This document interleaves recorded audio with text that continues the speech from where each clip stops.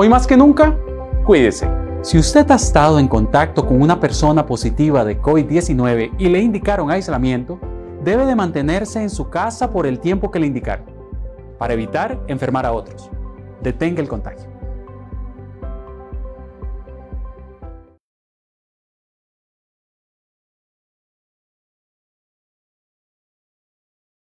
La pandemia de COVID-19 está cobrando vidas en Costa Rica y alrededor del mundo. Todos y todas debemos cuidarnos, pero tenés que cuidarte aún más si vos o algún ser querido presentan factores de riesgo como diabetes, hipertensión, obesidad, asma, tabaquismo o enfermedades pulmonares crónicas. Quédate en casa, seguí los protocolos de higiene y distanciamiento y utiliza mascarilla o careta. Continúa con tu tratamiento, seguí las indicaciones de tu médico y consulta en caso de presentar algún síntoma sospechoso. Cuídate y cuida a tus seres queridos. Juntos y juntas saldremos de la pandemia.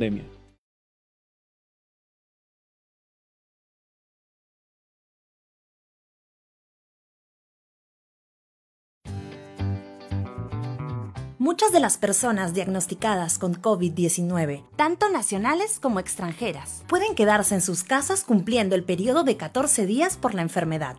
Eso sí, el paciente con COVID-19 debe estar separado del resto de las personas que viven en la casa y seguir al pie de la letra una serie de medidas para su propia seguridad y la de los demás.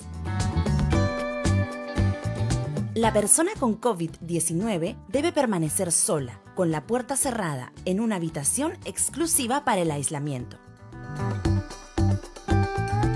Si en la casa viven también personas mayores con enfermedades crónicas, pacientes inmunosuprimidos o mujeres embarazadas, deberán tratar de alojarse en viviendas distintas, ya que su condición supone un riesgo mayor de desarrollar complicaciones en caso de contraer el COVID-19. Si no fuera posible y tuvieran que quedarse todos en la misma vivienda, deben mantenerse alejados de la persona con COVID-19, por lo menos a dos metros de distancia. La persona en aislamiento deberá tener sus propios platos, cubiertos, vasos, toallas, cepillo de dientes y demás artículos de higiene sin que nadie más los utilice. Preferiblemente debe disponer de un servicio sanitario y ducha para su uso exclusivo. Si no es posible, es necesario limpiar el baño con agua, jabón y cloro después de cada uso. Quien se encargue de cuidar a la persona con COVID-19 deberá mantener estrictas medidas de higiene antes y después de estar en contacto con él o ella.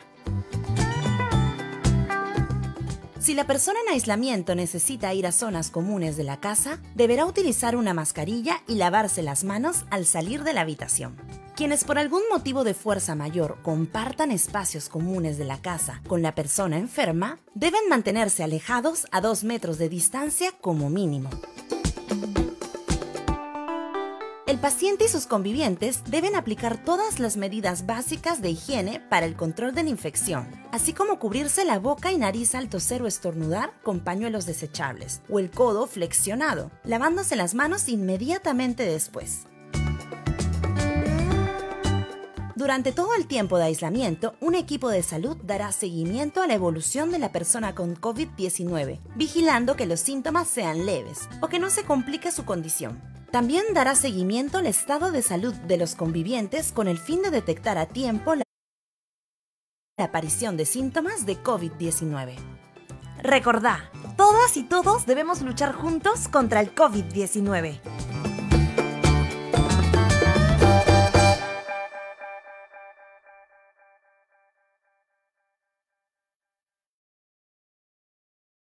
Hoy más que nunca, cuídese. Si usted ha estado en contacto con una persona positiva de COVID-19 y le indicaron aislamiento, debe de mantenerse en su casa por el tiempo que le indicaron, para evitar enfermar a otros. Detenga el contagio.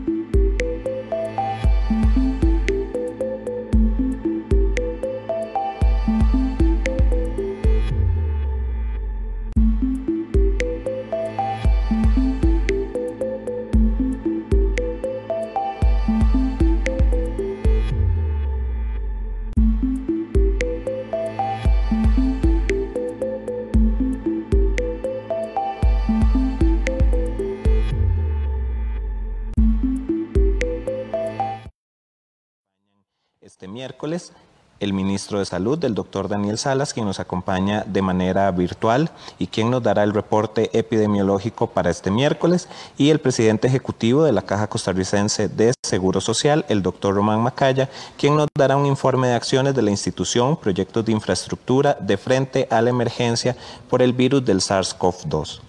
Le recordamos a la población y medios de comunicación que para consultar las medidas de cierre, apertura, operación y alertas en los distintos cantones puede visitar el sitio presidencia.go.cr barra inclinada alertas. Repetimos, presidencia.go.cr barra inclinada alertas. A continuación, hacemos conexión virtual con el ministro de Salud, el doctor Daniel Salas, quien nos dará el reporte epidemiológico para este miércoles 3 de septiembre. Muy buenas tardes, don Daniel. Lo escuchamos.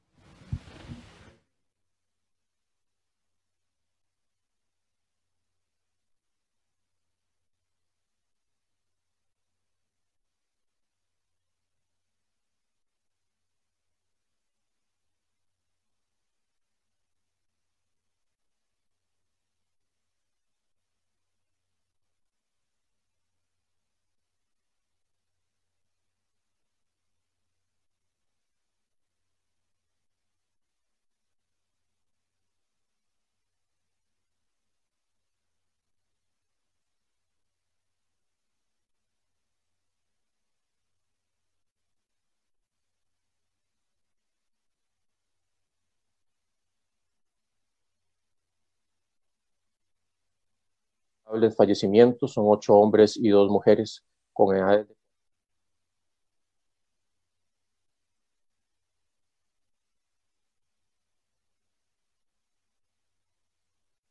COVID-19. Son 174 mujeres y 279 hombres con un rango de edad que va desde los 19 hasta los 100 años.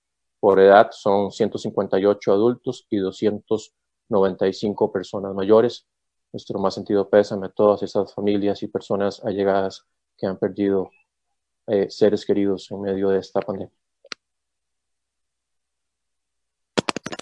Ministro de Salud, eh, tuvimos un problema con el audio, así que de momento vamos a pasar con el presidente ejecutivo de la Caja Costarricense de Seguro Social, el doctor Román Macaya, y en cuanto eh, solucionemos la conexión con el doctor Salas, podemos volver a pasar el Ok, el ministro va a dar nuevamente el reporte epidemiológico, eh, ya que restablecimos eh, el sonido y la conexión con él. Adelante, doctor Salas.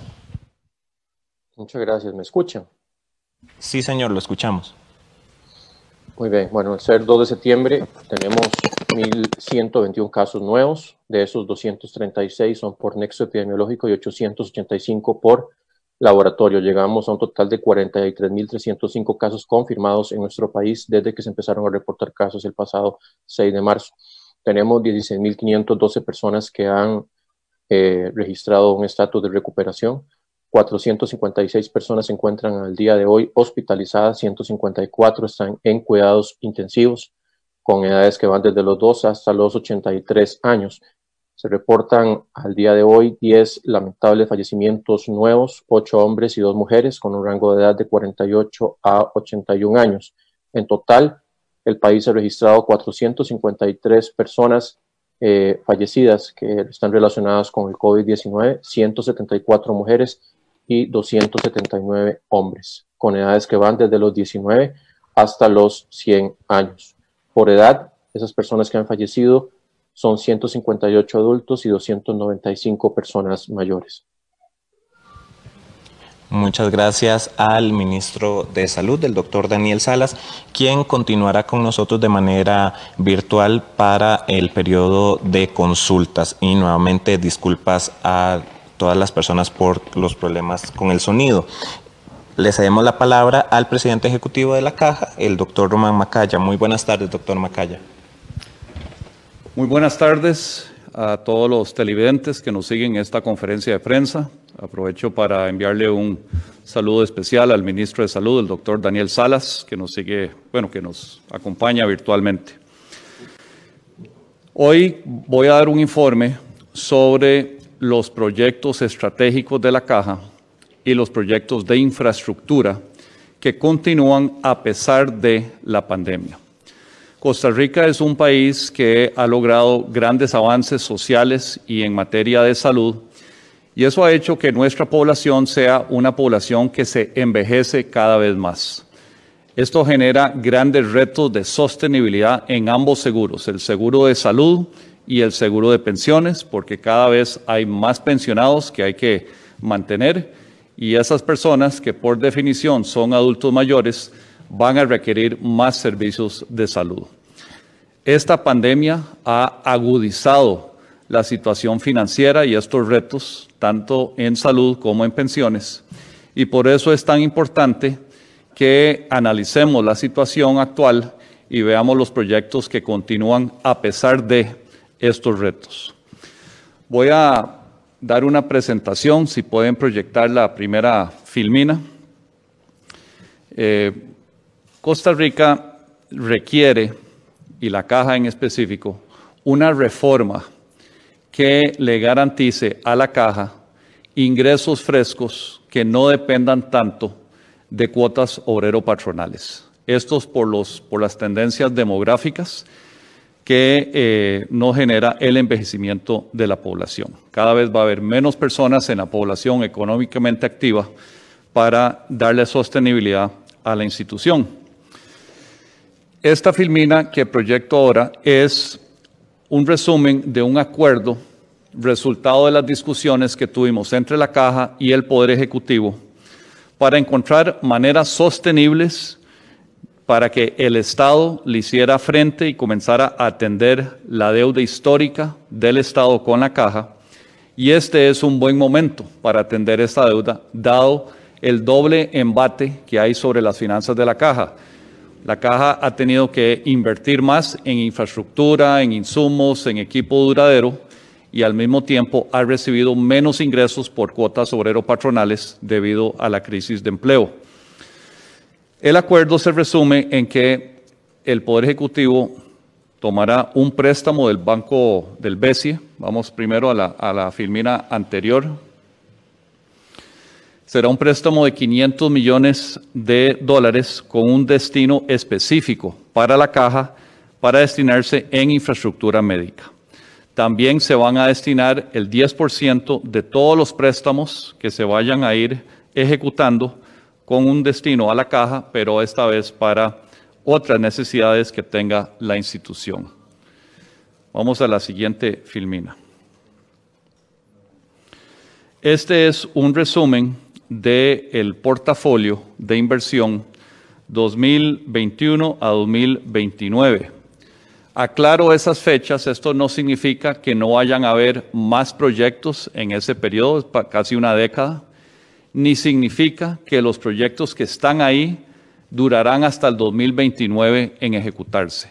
Simplemente que en ese periodo se proyecta no solo la inversión en la infraestructura y equipamiento, sino también el gasto operativo durante ese periodo. Y vamos a ver que eso es igual de importante que la inversión en infraestructura. La Junta Directiva de la Caja acordó continuar, a pesar de los grandes retos impuestos por esta pandemia, en tanto eh, la crisis sanitaria y la afectación económica, la Junta Directiva acordó continuar con los proyectos que ya estaban encaminados, que ya tenían básicamente un contrato de ejecución, que estaban en una etapa de licitación o una etapa avanzada pre-licitación. Estamos hablando de 225 proyectos, 95 de los cuales ya están en ejecución, 92 de los cuales están en, licitación o en una etapa pre-licitación y 38 que están en un fideicomiso de la caja con el Banco de Costa Rica y están en una etapa de diseño y planificación. Esto es infraestructura necesaria para la Costa Rica que viene, que ya lo tenemos encima de una población envejecida y también que nos prepara mejor para cualquier eventual crisis sanitaria como la que estamos viviendo hoy en día. Como podemos ver en esta filmina, la barra más larga es la de áreas de salud y EVAIS. Eso es la atención primaria. La segunda barra más larga es la de hospitales regionales y periféricos.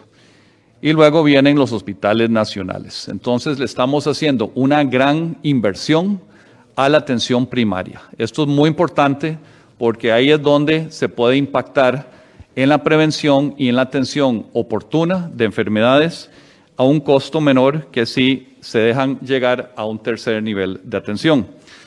Se estima para esta inversión un billón de colones a lo largo de, estos años y otro monto casi igual, 952 mil millones, en gasto operativo relacionado a estas inversiones. Si vamos a la siguiente filmina, voy a dar algunos ejemplos de eh, proyectos que están en ejecución. Hay 95 de ellos por un monto de 463.258 millones de colones. Y aquí lo que podemos ver, por ejemplo, es en las, en las imágenes, la de arriba es la nueva torre del Hospital México. Para los que transiten por el Hospital México pueden ver que esto es una obra ya eh, avanzada, está en, en obra gris y construyéndose. En la filmina de abajo está la sede de área de Santa Cruz, que ya también inició su construcción. Vamos a, a las siguientes filminas. El Hospital Monseñor Sanabria de Punta Arenas es un proyecto también ya encaminado con contrato firmado. Esto ya está en manos de la constructora y son los tiempos de la constructora lo que determinará qué tan rápido se cumpla. Pero básicamente esto es algo ya eh, que se puede prever en el corto plazo. En esta imagen tenemos el Hospital William Allen de Turrialba, igual ya con contrato de construcción firmado y en manos de la constructora. Esto es una imagen del modelo de ese hospital, a cómo se va a ver en Turrialba una vez que se complete. Está Torre Este, esta es la imagen de la torre que está eh, adjunta al Hospital Calderón Guardia. Esto es como un portaaviones que ingresó a la guerra justo a tiempo. Este, esta torre ya está atendiendo una gran cantidad de pacientes críticos y moderados de COVID-19. Así que es una obra ya recibida por parte de la institución y con equipamiento de última tecnología. Se le une a Torre Norte y a Torre Sur en el Calderón Guardia, que también están atendiendo eh, pacientes COVID en este momento. Seguimos a la siguiente. Bueno, esta es la imagen de nuevo de la torre quirúrgica y de cuidados críticos eh, y salas de parto del Hospital México. Así es como se va a ver. Esta imagen es del área de salud de Santa Bárbara de Heredia. Tiene un 95% de avance, o sea, esta está a punto de recibirse por parte de la institución y le va a generar servicios muy oportunos y eficientes a la comunidad de Heredia. Seguimos a la siguiente. Esta es otra área de salud de San Isidro de Heredia esta vez. la segunda de Heredia, que tiene un 80% de avance, así que es una obra que también para los que transiten por ahí la podrán ver, un proyecto ya muy avanzado. Seguimos. Esta es la sede área de eh, Santa Cruz, Guanacaste, una sede moderna que le dará un nuevo giro a la atención de la salud, especialmente en este nivel, en Santa Cruz de Guanacaste.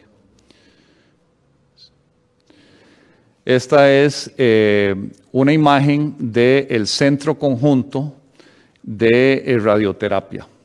Esto es una, una imagen de un área que está entre el Hospital San Juan de Dios y el Hospital de Niños. Tendrá dos aceleradores lineales nuevos, con lo cual eh, seguimos avanzando con la dotación de este equipo tan indispensable para el tratamiento del cáncer. Esta es una imagen del centro de diálisis peritoneal y hemodiálisis del Hospital Dr. Enrique Baltoano, Baltoano Briseño en Liberia. Una obra muy necesaria dada la incidencia de insuficiencia renal en la provincia de Guanacaste y es una infraestructura que desearíamos tenerla hoy en día porque casualmente esta enfermedad de COVID-19 afecta de forma grave los riñones de los pacientes graves. Seguimos a la siguiente. Bueno, y aquí tenemos una serie de proyectos que están en proceso de contratación. Son 92 proyectos para una inversión total de infraestructura de 153.964 millones de colones. Ahí tenemos una serie de nuevas sedes de BAIS en San Vito, Santa Elena, eh, Corralillo, Santa Cruz, Turrialba, Barrio Unión, Cañas, Sámara, Nicoya, Penhurt, Gavilán, El Roble, Punta Arenas y otras áreas. De nuevo, son ejemplos de la inversión en atención primaria, que es esencial en cualquier sistema de salud y Costa Rica se destaca por su atención primaria a nivel internacional. Seguimos a la siguiente. Y aquí tenemos eh, lo que es el fideicomiso inmobiliario entre la Caja y el Banco de Costa Rica. Son 38 proyectos, 30 de los cuales son nuevas sedes de áreas de salud en todo el territorio nacional y 8 son proyectos de sucursales de la Caja en diferentes puntos del país. Esto asciende a un monto de 387.274 millones de colones y de nuevo va a fortalecer con infraestructura y equipo moderno en la atención primaria en todo el territorio nacional. Vamos a la siguiente, y esta es la última. Esto es un resumen de proyectos estratégicos, no necesariamente de infraestructura, que lo que buscan es eh, aumentar la eficiencia, la eficacia y la calidad de los servicios de la caja en cualquier contexto. En la categoría de eficiencia tenemos cuatro proyectos estratégicos. Está el Plan de Innovación ERP, que permitirá gestionar de manera integrada los procesos operativos a nivel financiero, administrativo y logístico y permitirá una mayor productividad y control de la gestión. Luego está el proyecto SICOP, con la cual se homologan, homologan los códigos de catálogo general de suministros a la codificación de Naciones Unidas. Involucra la capacitación y las interfaces entre el sistema caja y el SICOP y el cumplimiento del decreto ejecutivo, no solo del nivel central, sino de todas las unidades de compra de la caja en materia de contratación administrativa. La caja es el mayor comprador del Estado, así que con este proyecto esperamos una mayor transparencia y eficiencia en las compras que hace la institución. También está el Sistema Integrado de Gestión de Personas, que llamamos el CIPE, que es el desarrollo de una plataforma tecnológica con la cual se podrá automatizar una gran cantidad de procesos que tienen que ver con el recurso humano, con la planilla más compleja de Centroamérica, que es la de la caja. 58 mil funcionarios, en prácticamente 600 diferentes perfiles profesionales.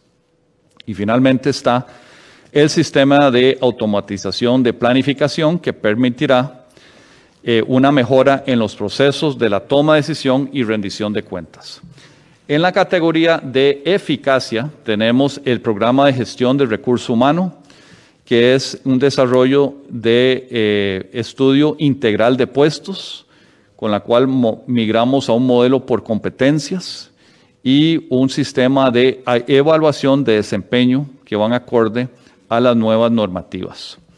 También tenemos el proyecto de reestructuración del nivel central que busca una estructura funcional y organizacional a nivel central con búsqueda de la eficiencia y la eficacia de esta gestión. Está el modelo de gobernanza de las tecnologías de información y comunicaciones, que establece un marco para el gobierno y la gestión de las tecnologías de la información y está basado en las mejores prácticas y estándares internacionales en el uso óptimo de estas tecnologías. Y luego el proyecto de gobierno corporativo, que es la implementación de las mejores prácticas de gobierno corporativo en la institución para mejorar y fortalecer la transparencia, estabilidad, visión estratégica, ética y control de riesgos a nivel institucional.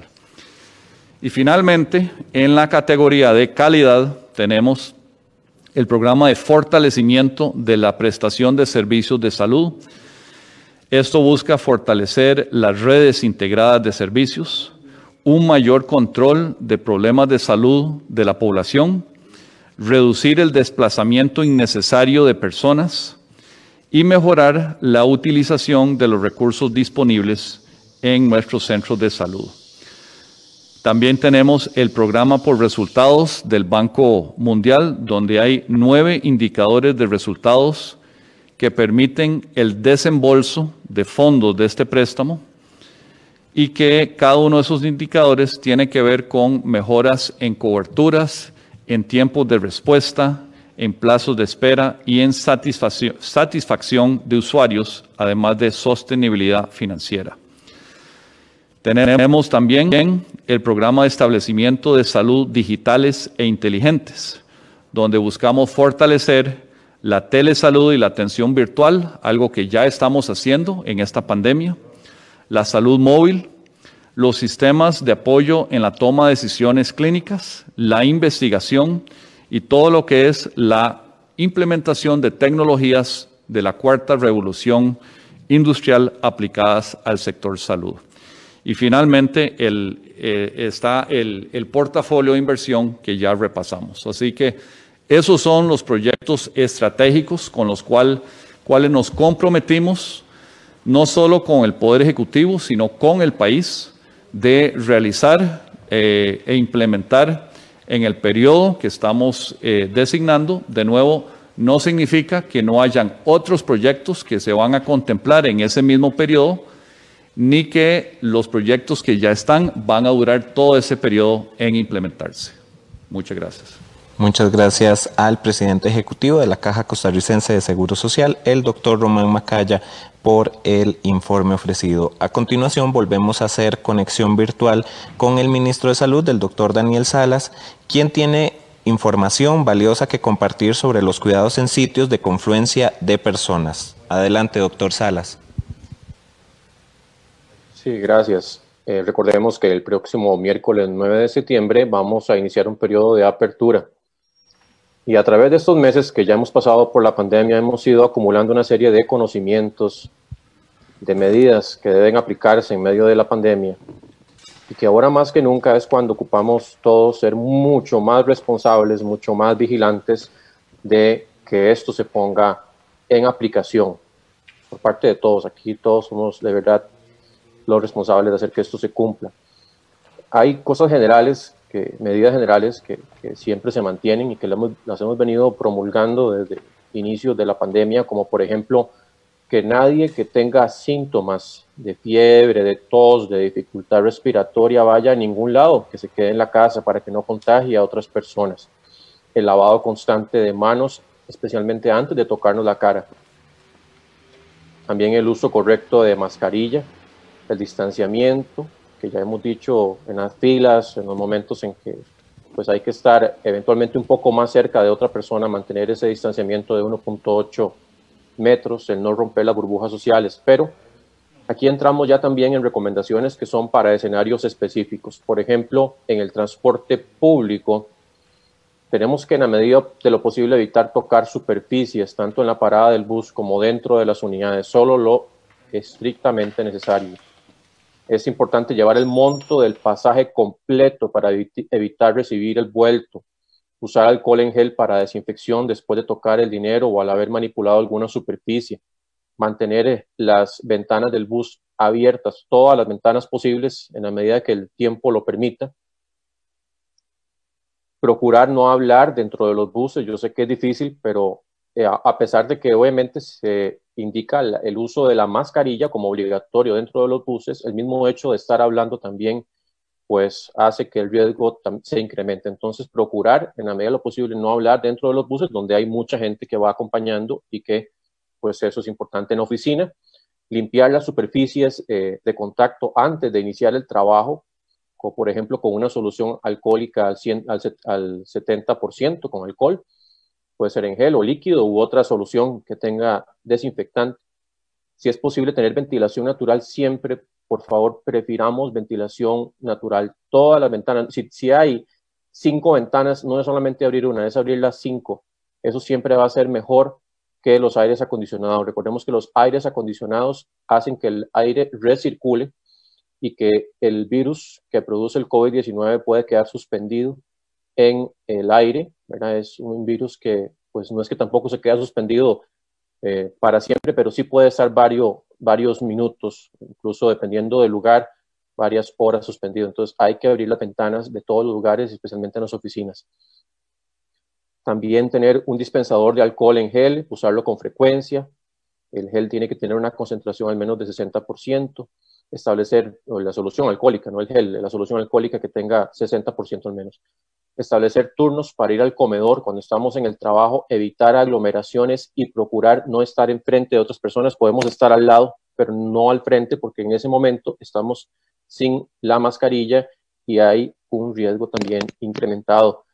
No asistir, no ir a visitar a los compañeros a los cubículos, ¿verdad? Respetar, estar en el cubículo y una vez que termina. Ya retirarse, no estar eh, yendo en diferentes cubículos, porque si alguien está infectado, pues ahí va a infectar a varias personas. En el caso de los gimnasios, se recomienda el uso, hay unas mascarillas especiales que han salido últimamente que son para realizar actividades físicas. Entonces, esas, mascarillas, los que puedan conseguirles una recomendación. Esas mascarillas permiten un filtro este, adecuado y son confortables al usar y pueden usarse por más tiempo antes de reutilizarlas, porque uno sabe que cuando uno va al gimnasio va a estar haciendo más esfuerzo físico y se puede justamente eh, emanar más gotitas de saliva al exterior.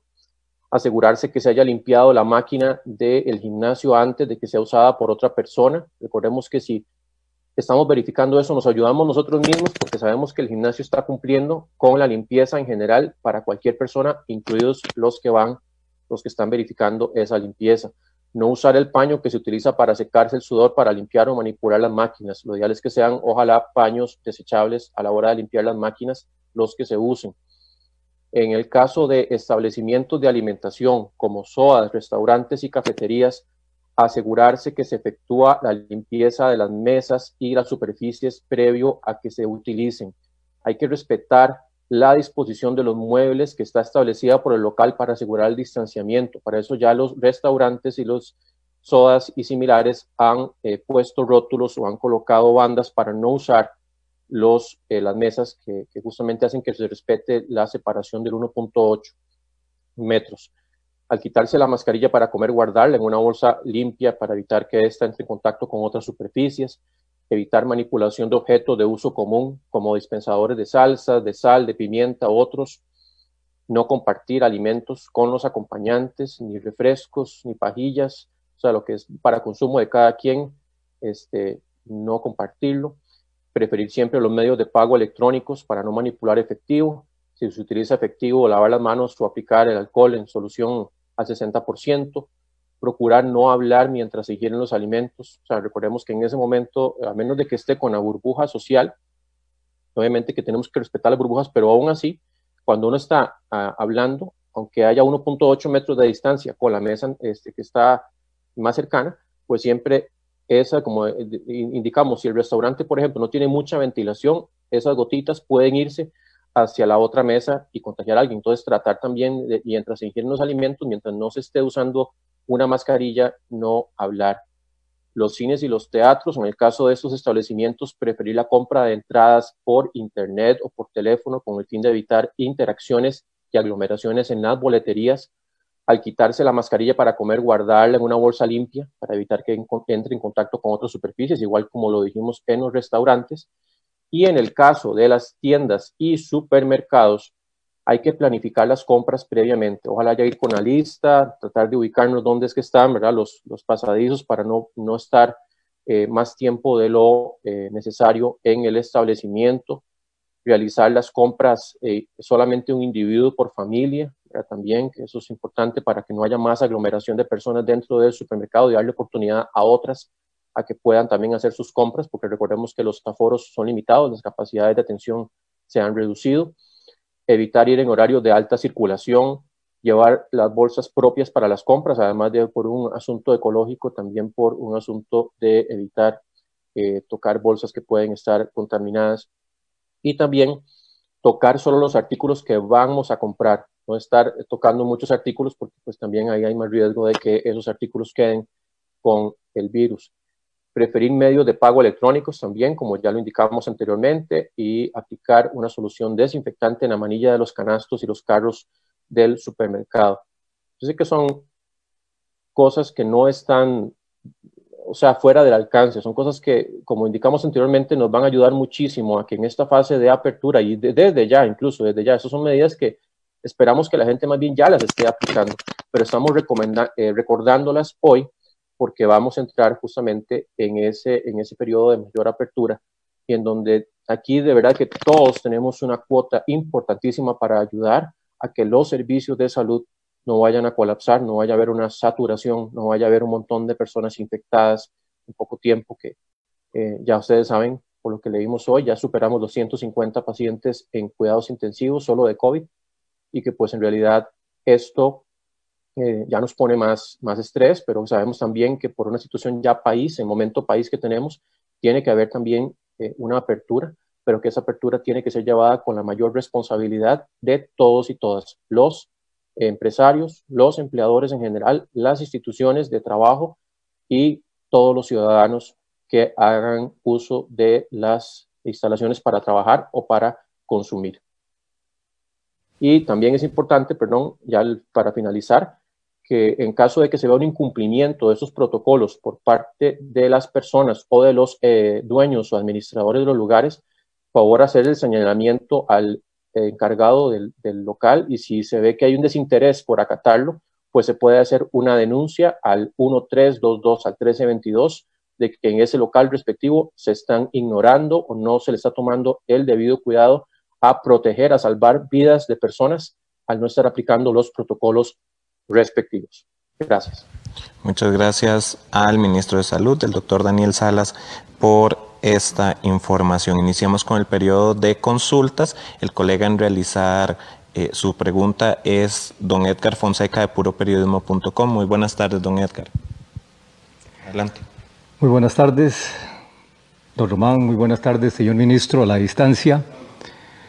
Mi primera consulta para usted, señor ministro, con lo que usted ha estado afrontando en estos días de aislamiento, eh, cuál es su reflexión, cuál es su mensaje al país, qué tratamiento ha seguido, cómo se siente en estos momentos y pues cuáles son sus impresiones de permanecer en ese aislamiento en medio de esa afección eh, detectada y, e informada al país eh, hace aproximadamente 10 días en su caso personal para un Román la consulta en el sentido de cuál es la posición suya y de la Junta Directiva de la Caja frente a los cuestionamientos y la polémica que se está dando respecto a las inversiones del régimen de validez, vejez y muerte en el sector financiero privado, entre otros en el Grupo Nación.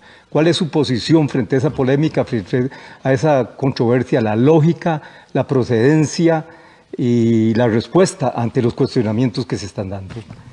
Escuchamos primero de manera virtual al ministro de Salud y posteriormente al doctor Macaya. Adelante, don Daniel. Sí, un saludo muy especial, don Edgar. Eh, vea, yo, eh, pues estando acá en, la cuarentena, no yo estoy en cuarentena no por ser un caso sospechoso, sino un, un, contacto de una persona positiva, un contacto directo, no he manifestado síntomas, pues claro que estar en, en cuarentena pues es una situación de que conlleva mucha disciplina y, claro que uno pues quisiera salir lo más pronto posible, pero uno sabe que lo hace por un bien mayor, que es no infectar a otras personas. Eso me ayuda también a, entender mejor lo que han pasado otras personas al estar en, cuarentena. Y el mensaje que le doy a la población, eh, reflexionando sobre todo esto, es que posiblemente van a pasar muchas décadas en que no vamos a tener una situación tan difícil desde el punto de vista sanitario que al final afecta a todas las demás áreas de el país y del mundo. Y que tener disciplina en este momento, tener el coraje de aplicar las medidas y de entender la gravedad de lo que estamos viviendo, en donde ya la, mortalidad por COVID, vean ustedes que son 10 personas aproximadamente que están falleciendo por día, es una cantidad muy alta de, personas que están falleciendo por día y que podemos hacer muchísimo, que es como lo que hemos dicho desde el inicio, esta batalla esta guerra la llevamos como un solo país y en la medida que empecemos a encontrar diferencias y a buscarle los pelos a la sopa, vamos a tener problemas para salir adelante. Aquí tenemos que unirnos todos y tener claridad en ese sentido de corresponsabilidad, de que medidas tan básicas como que si alguien está enfermo no salga de la casa o, o alguien que puede mantener ese distanciamiento de 1.8 metros que lo haga, saber que eso puede evitar un brote, que puede evitar mucho dolor, a muchas familias, es algo muy importante que tenemos que tener siempre presente. Muchas gracias, eh, doctor Salas. Escuchamos al presidente ejecutivo de la Caja, el doctor Macaya. muchas gracias, don Edgar, por la pregunta. Eh, tal vez para empezar, eh, explico que existe toda una gerencia de inversiones, bueno, perdón, de, de pensiones donde hay un comité de inversiones. Ese comité de inversiones es el que invierte los fondos del IBM.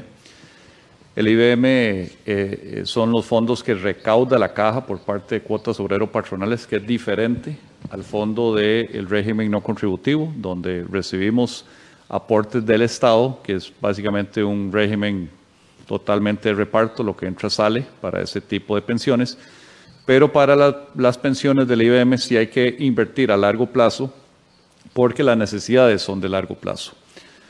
La Junta Directiva no recibe para aprobación todas las inversiones que se hacen en el IBM. Entonces es la comisión o el comité de inversiones la que evalúa la digamos, la razonabilidad de precios de títulos financieros, el riesgo que pueden implicar, la calificación que tienen y el rendimiento. Eso es lo que se busca, es un balance seguridad-rendimiento en beneficio de los usuarios.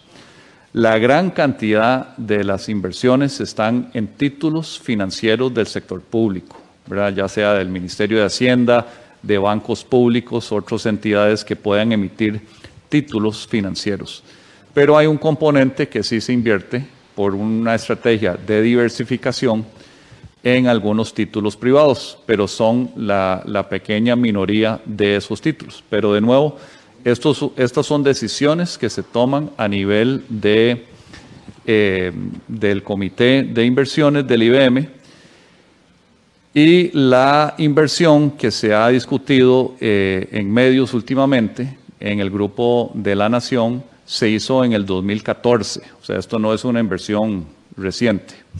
Entonces, eh, así como hubo esa inversión, hay muchas inversiones, sector público, sector privado, que se hacen todos los años. Algunas se renuevan, otras no se renuevan. Todo depende del análisis de ese comité en el momento que se toman las decisiones. Una consulta adicional, don Román, ya más específica sobre el ámbito de la pandemia y los efectos. En cuanto a la tasa de mortalidad que está observando el país a estos momentos, ¿ustedes tienen un estimado de, esa totalidad? ¿Cuántos corresponden específicamente a COVID como causa principal y cuántos a causas o afecciones colaterales? Eh, bueno, eso es una pregunta muy importante porque eh, en la contabilidad de los fallecidos se hace una contabilidad, eh, digamos, conservadora, en que no se están diferenciando los que se murieron por COVID de los que se murieron con COVID, pero de otra causa. O sea, si alguien tuviera COVID, fuera asintomático y tiene un accidente de tránsito, esa persona eh, luego si es diagnosticada con COVID, es uno de los fallecidos más con la enfermedad.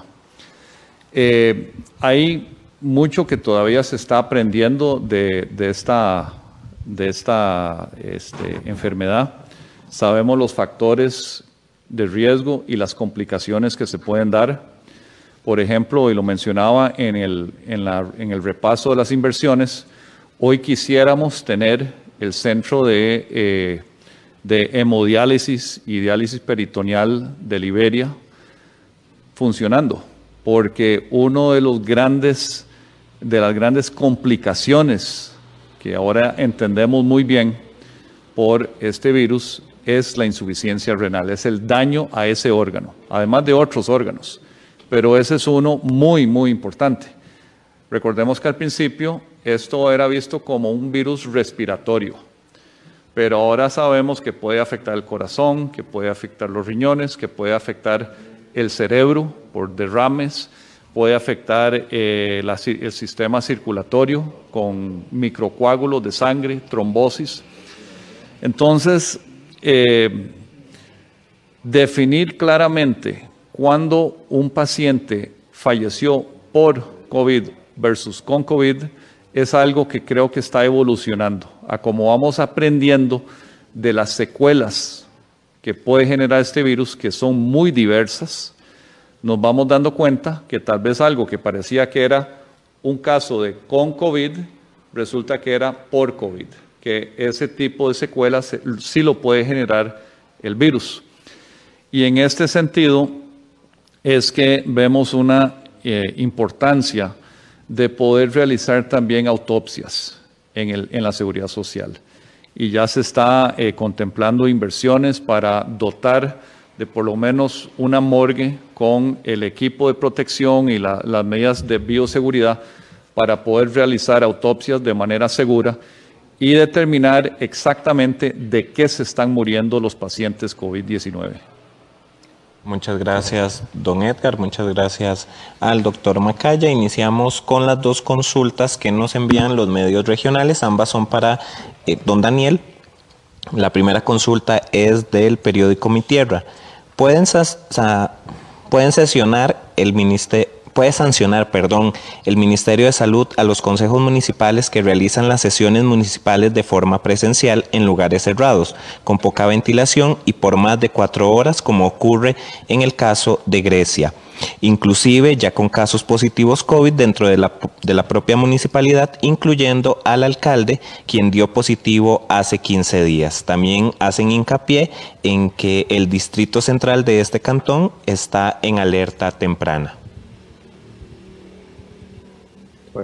Primero que todo, yo quiero extenderle una cordial invitación a todos los entes, sean consejos, sean juntas directivas, sean cualquier este, organismo que tenga que hacer reuniones, siempre prioricen hasta donde su normativa lo permita, que sean virtuales. Yo sé que en el caso de consejos pareciera que hay una limitante para que no se puedan hacer virtuales, pero en todo caso, por favor, si tienen que haber reuniones presenciales, que sean en lugares ventilados, que sean con la mínima cantidad de personas y el mínimo tiempo para tomar los acuerdos más importantes, porque no estamos en condiciones pre-COVID ni post-COVID, estamos en media pandemia, estamos en este momento en, un, bueno, no, no es que ha habido un incremento eh, exponencial de casos, pero ustedes ven que ya el reporte 1.200 casos, 1.000 casos, 900 eh, casos por día, son muchos casos. O sea que en este momento muchas personas pueden estar infectadas sin saberlo y eh, no queremos de que se lleven sorpresas en medio de esas reuniones que después dijeran, ay, ve, el, miembro tal, el, de la junta directiva o el consejo de tal entidad salió contagiado y pudimos haber hecho una reunión más corta, pudimos haber buscado un lugar ventilado, pudimos haber este, asumido esta situación con mucho más eh, responsabilidad desde el punto de vista sanitario. Entonces yo sí quiero hacer esa invitación, no solamente puntualizando en ese consejo municipal, sino a todos los consejos municipales, a todas las entidades que tienen que hacer reuniones, que por favor siempre prefieran la forma virtual. Esa es el, la forma siempre preferente, porque obviamente el riesgo ahí no existe. En el momento en que haya presencialidad, que haya la, persona se, se, haga presente en un lugar, ya existe riesgo. Y obviamente, como indicamos, entre menos ventilados, más riesgo, entre más gente, más riesgo, entre más tiempo, más riesgo. Acontecer herediano. Ah, perdón. no, no, eso era para que tal vez, y los consejos municipales como tales no tienen un permiso sanitario de funcionamiento. Si es que pues ahí eh, buscaríamos la forma de entablar conversaciones con el alcalde y con el consejo para que por favor este, hagan las cosas como estamos indicando anteriormente por el bien de todos. Gracias, doctor Salas. La siguiente consulta la realiza el medio regional Acontecer Herediano. ¿Cuál es la postura del Ministerio de Salud acerca de las mascarillas con válvula? Hay estudios que han comprobado que estas mascarillas pueden propagar el COVID-19, ya que un gran número de gotitas sin filtrar atraviesa la mascarilla. ¿Y qué han decidido hacer con el pedido de varios grupos que se les que se les pide la prueba negativa de COVID a ticos que ingresen al país en lugar de tener que cumplir la cuarentena al llegar. Sí, inicio por la segunda. Ya está habilitado los costarricenses para los, para los países. Cuando tenemos un país que ya se permite el turismo desde ese país, el, costarricense que quiera volver desde ese país puede optar o por hacerse la prueba de PCR 72 horas antes del vuelo o hacer la cuarentena para los que vienen de esos países. Para los que no, deben cumplir con cuarentena. Por el momento, esas son las indicaciones. Y con respecto a las eh, mascarillas con válvulas de exhalación, esas no están recomendadas, más bien, eh, o sea, pues protegen a la persona que las está usando, pero a la persona que está enfrente de ellos, eh, más bien está facilitando que las gotitas de saliva se esparzan o le lleguen a los demás. Entonces, esas eh, mascarillas que generalmente tienen una válvula, ¿verdad? Que es fácilmente identificable porque está a un lado o a los dos lados, esas, esas no se recomiendan, más bien esas no tienen ninguna capacidad de ser solidarias, de proteger a las personas que están alrededor, así que es mucho más efectiva una mascarilla que cubra, sencilla, ¿verdad? Que cubra, pues ojalá lo más herméticamente posible. Recordemos que las mascarillas tienen que cubrir la nariz también. Hay muchas personas que las usan por debajo de la nariz y eso pierde completamente toda la efectividad. Y si las vamos a usar, usarlas, no tenerlas ahí guindando en el cuello o arriba, ¿verdad? En la, cabeza. Tienen que ser usadas eh, correctamente para que cumplan su efecto, además de cambiarlas cuando ya están húmedas, ¿verdad? Que generalmente es 3, 4, a lo sumo 4, 5 horas, ya poniéndole mucho, dependiendo de la actividad, que hay que cambiarlas. Muchas gracias al doctor Salas por su respuesta. De esta forma damos por concluida esta conferencia de prensa. Le recordamos a la población que pueden consultar el sitio presidencia.go.cr barra inclinada alertas. Repetimos, presidencia.go.cr barra inclinada alertas el sitio en el que pueden consultar las medidas de cierre, apertura, operación y alerta en los distintos cantones. Le agradecemos la compañía a las autoridades, al doctor Daniel Salas, ministro de Salud, quien nos acompañó de manera virtual, y al presidente ejecutivo de la Caja Costarricense de Seguro Social, el doctor Román Macaya, quien nos acompañó de manera presencial. A ustedes muchas gracias por su sintonía. Los esperamos mañana con una nueva actualización. Muy buenas tardes.